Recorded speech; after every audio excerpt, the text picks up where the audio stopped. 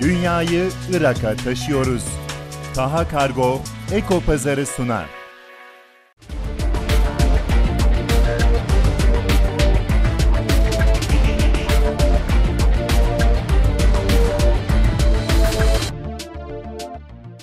Sevgili seyirciler, Türkiye her türlü afete karşı bilinçleniyor, bilinçlendiriyor. Çok geç olmadan sloganıyla hayata geçirilen Türkiye'nin ilk doğal afet fuarı da bu bilinçlenmeye katkı sağlayan önemli organizasyonların başında geliyor. Şimdi arama kurtarma çalışmalarından sivil savunma ve lojistiğe kadar birçok hizmetin görücüye çıktığı o fuara çeviriyoruz objektiflerimizi. Modern teknolojiye uygun ekip ve ekipmanlarla geliştirilen projelerin tanıtıldığı 2. Uluslararası Afet Yönetimi Fuarı İstanbul Fuar Merkezi'nde ziyaretçilerine kapılarını açtı. Fuarın stratejik ortağı Kimse Yok mu Derneği'nin arama kurtarma ekibi Asya ile katıldığı fuar büyük ilgi gördü. Fuar süresince özellikle deprem konusunda halkı bilinçlendirmek amacıyla kurulan simülatör büyük dikkat çekti. Simülatörümüzü Marmara depreminin aynı sismik hareketleriyle hemen hemen aynı şiddetiyle e, depremi simüle etmek için imal ettirdik. E, maksadımız deprem sırasında e, evde ya da okulda ya da iş yerinde yakalanırsa ne yapılması gerektiğini simülatöre gelen konuklarımıza anlatmaya çalışmak.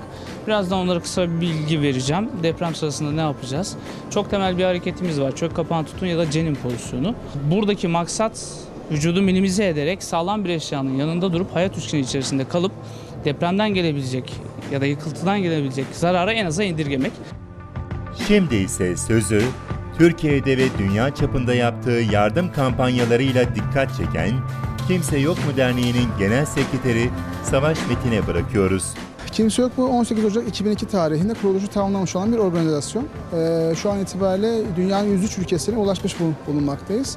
Bu Türkiye içerisinde 41 tane şubemizle beraber, bir fiil gönüllerimizle beraber çalışmalarımız devam etmekte. İki ana başlığımız var aslında kendimize, kendimize tanımlamış olduğumuz. insani yardım ve e, yoksullukla mücadele konuyla alakalı çalışmalarımız devam etmekte. Fakat yoksullukla yoksulluk arası bir ilişki olduğu muhakkak. Bununla alakalı da şu anda çalışmalarımız devam ediyor. Şöyle ki Mesela insani haklar perspektifinden ele aldığımız bir konu var ki o da bizim için önemli. Mesela e, suya, temiz suyu kaynaklarına ulaşım bir insana haktır. Eğitim e, şartlarına ulaşım bir insana haktır. Aynı paralelde sağlık hizmetlerine ulaşım bir insan haktır.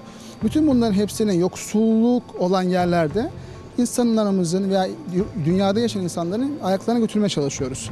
Bunun için dünyanın farklı yerlerinde hastane inşaatlarımız, mesela şu an itibariyle 4 tane Afrika ülkesinde hastane inşaatımız devam etmekte. Aynı paralelde Pakistan İkbale kasabasında 296 adet e, bir e, ev inşamız devam etmekte ve 14 e, Eylül tarihi itibariyle bunun açılışını planlamaktayız şu an itibariyle.